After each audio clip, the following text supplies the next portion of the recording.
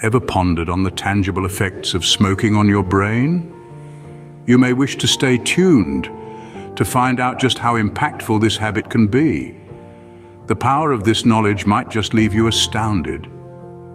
Researchers at Washington University School of Medicine in St. Louis embarked on an enlightening study, unearthing alarming revelations about smoking and its effects on our most vital organ, the brain. This isn't just about the potential risks we often hear about, it's about tangible, visible changes. Smoking, as it turns out, leads to brain shrinkage and astonishingly accelerates the aging process of your brain. Now, if you're thinking that quitting smoking can simply reverse these effects, think again. While it's true that quitting can prevent further loss of brain tissue, the study found that it does not restore the brain to its original size. That's right, once the damage is done, it's done.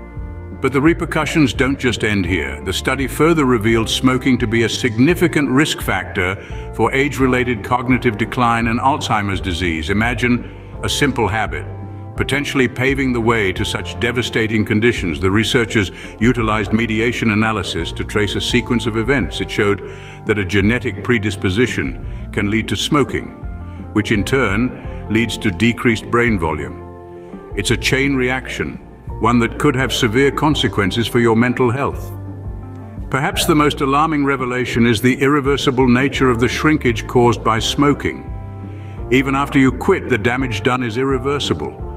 It's a frightening thought, isn't it? The researchers cannot emphasize enough the importance of quitting smoking to prevent further brain damage and reduce the risk of dementia. It's a critical message, one that we all need to heed.